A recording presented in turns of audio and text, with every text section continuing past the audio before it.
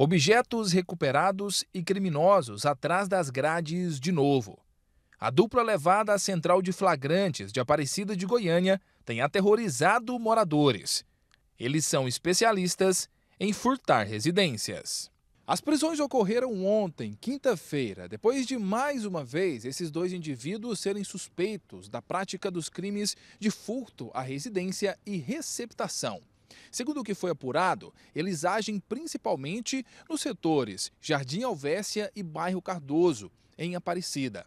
De quarta para quinta, um morador, um senhor ali do Jardim Alvécia, entrou em contato com a Guarda Civil, informando que novamente haviam entrado na casa dele e de lá levado vários objetos, como uma televisão, um computador, coisas de valor e até roupas foram levadas.